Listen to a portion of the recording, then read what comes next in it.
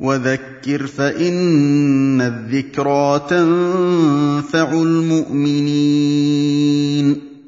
وما خلقت الجن والإنس إلا ليعبدون.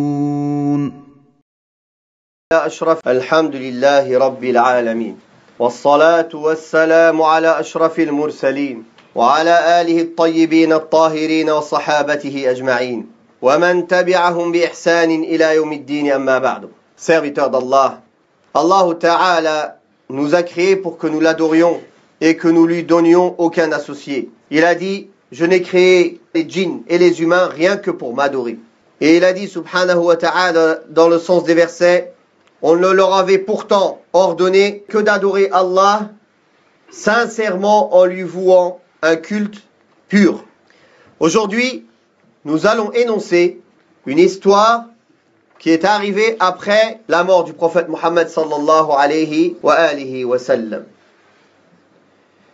dans laquelle il y a un hadith, une parole du prophète sallallahu alayhi wa qui est rapportée.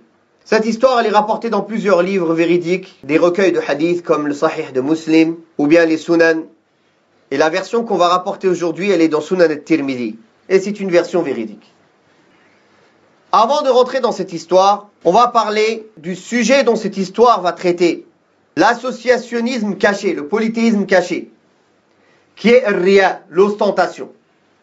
Le prophète a dit concernant l'ostentation, voulez-vous que je vous dise la chose dont j'ai le plus peur pour vous, plus que le faux messie?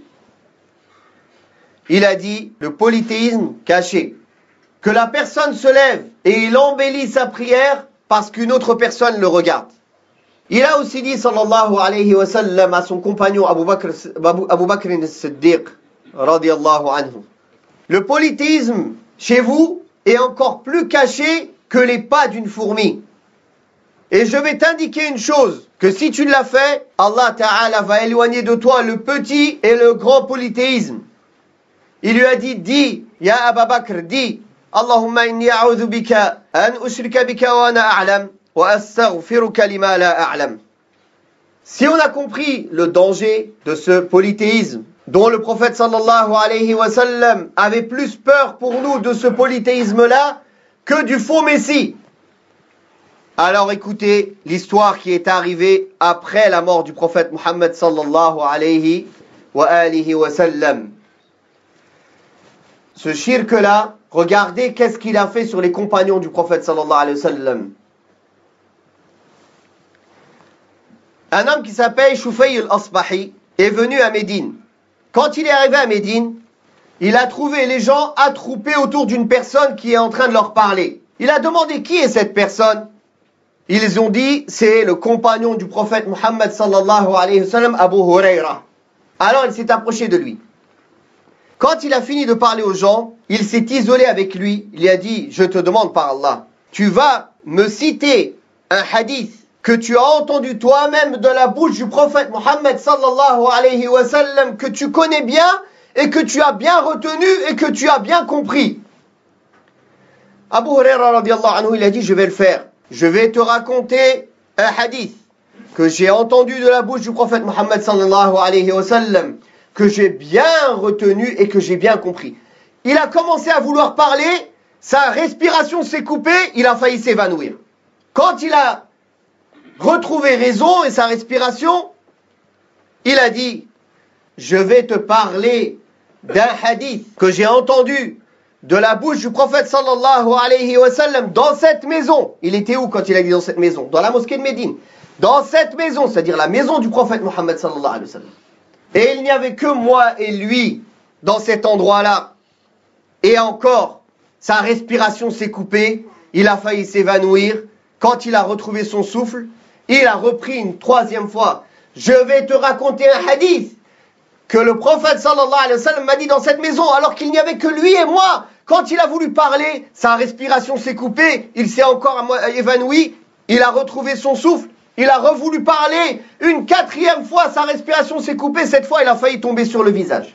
Alors Choufei a dit, je l'ai retenu, je l'ai mis sur mon épaule. Quand il s'est réveillé, il a dit le messager d'Allah sallallahu alayhi wa sallam m'a dit dans cette maison alors qu'il y avait que lui et moi. Quand Allah va descendre le jour du jugement dernier pour juger entre ses créatures et que toutes les communautés vont être agenouillées, on va ramener trois catégories de personnes. Le savant, l'homme généreux et celui, le martyr, le combattant, fils dans le sentier d'Allah. Alors Allah va dire au savant, ô toi, est-ce qu'on t'a pas enseigné ce qu'on a révélé à nos messagers comme preuve et guidé Il dit oui, à Allah. Il a dit qu'as-tu fait de ce que je t'ai enseigné? Il a dit je l'ai enseigné aux gens, je le mettais en pratique nuit et jour. La nuit je priais, la journée je l'enseignais. Et Allah va lui dire tu es un menteur. Et les anges vont lui dire tu es un menteur. Et Allah va lui dire tu as fait tout cela juste pour que les gens disent tu es un savant. Effectivement, ils l'ont dit et il sera traîné en enfer. On va ramener le généreux qui a dépensé tous ses biens dans le sentier d'Allah. Allah Ta'ala va lui dire, oh toi, est-ce que je ne t'ai pas enrichi? Jusqu'au point où tu n'avais pas besoin des autres? Qu'as-tu fait de cet argent que je t'ai donné? Il dit, ah Allah, j'ai lié les liens de parenté, c'est-à-dire j'ai donné à mes proches. J'ai fait des aumônes, il va lui dire menteur.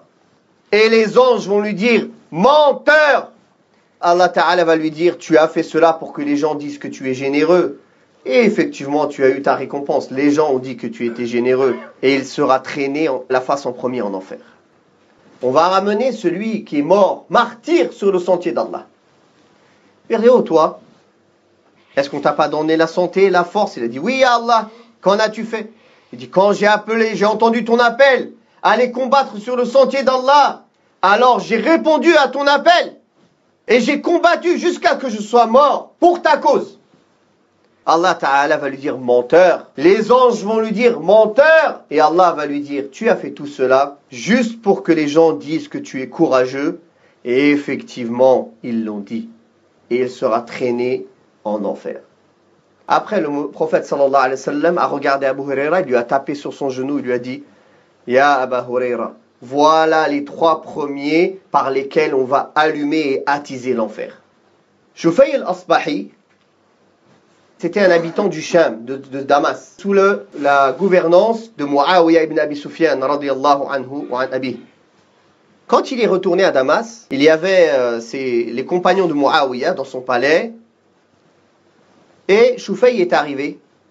Il lui a dit J'ai un hadith à te rapporter, ya Muawiyah. Quand il lui a rapporté le hadith, Muawiyah a commencé à pleurer, pleurer, jusqu'à presque s'en évanouir. Il a dit, si ces trois personnes, on va faire ça le jour du jugement dernier, ça c'est l'état de ces trois personnes-là qui sont les trois meilleures de la communauté. Que va-t-on faire de nous? Serviteurs d'Allah, regardez un peu comment les compagnons du prophète sallallahu alayhi wa, sallam avaient des cœurs vivants. Comment ils étaient touchés par les nouvelles de l'au-delà. Comment ils n'étaient pas sûrs d'être sauvés le jour du jugement dernier. Comment ils se remettaient en question. Ils sentaient qu'ils étaient manquants vis-à-vis d'Allah subhanahu wa ta'ala alors qu'ils ont dépensé et ils ont sacrifié leur vie sur le sentier d'Allah. Et encore, ils avaient peur pour leur personne. Ce hadith, il a fait évanouir Abu Huraira quatre fois avant de le raconter. Et il a fait pleurer Muawiyah jusqu'à qu'il en perde connaissance presque. Alors que c'était les meilleurs des hommes après les prophètes. Et nous Qu'avons-nous devancé pour l'islam? Et on se sent en sécurité d'entrer au paradis le jour du jugement dernier. Ce hadith, il nous enseigne que les trois meilleures personnes de la communauté, qui sont le savant, qui sont celui qui dépense pour les besoins de la communauté, qui sont celui qui combat sur le sentier d'Allah, ces trois personnes, s'ils sont pieux, s'ils sont sincères, s'ils sont sur le chemin du prophète Mohammed sallallahu alayhi wa sallam, par la cause de ces trois catégories de personnes, la communauté s'élève et l'État islamique est fort. Mais si au contraire, ces trois personnes ne sont pas sincères, ils cherchent les biens éphémères de ce bas monde, ils cherchent des postes, ils cherchent l'ostentation. ils cherchent autre que le visage d'Allah. Ils suivent un chemin autre que le chemin du messager d'Allah. Alors, ce sont les trois premiers qui méritent le châtiment le jour du jugement dernier. Le messager d'Allah sallallahu alayhi wa sallam nous a dit dans un hadith véridique La chose dont j'ai le plus peur pour vous après moi, plus encore que le faux messie, ce sont les imams qui égarent les gens. Ils sont plus dangereux pour la communauté que le faux messie. Les gens qui viennent faire des fatawa haddam, qui détruisent l'islam de sa base, qui contredisent le Coran et la sunna du prophète D'ailleurs, le messager d'Allah a annoncé que l'un des signes de la fin des temps, la science va diminuer. Alors, on lui a demandé, est-ce que la science va partir, Allah va l'arracher de la poitrine des gens au messager d'Allah Et le messager d'Allah sallallahu alayhi wa sallam a dit non, Allah va faire partir la science par la mort des savants, quand les savants meurent. Puis, les gens vont prendre à leur tête des imams égarés, qui vont leur faire des fatawa, des fatwas égarés, qui vont s'égarer eux-mêmes et égarer les gens.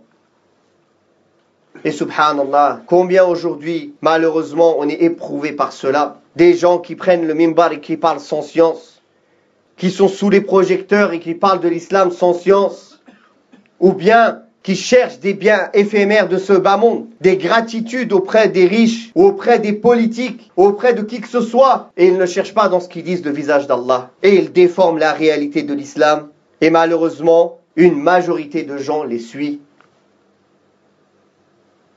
pour finir, comme ce hadith a touché les cœurs et les poitrines des compagnons du prophète sallallahu alayhi wa sallam, alors il y a un rappel en cela pour celui qui a un cœur vivant et qui écoute attentivement et qui est présent, ce le rappel il sera pour lui profitable. فنسأل الله تبارك وتعالى أن يوفقنا جميعا لما يحب ويرضاه والحمد لله رب العالمين.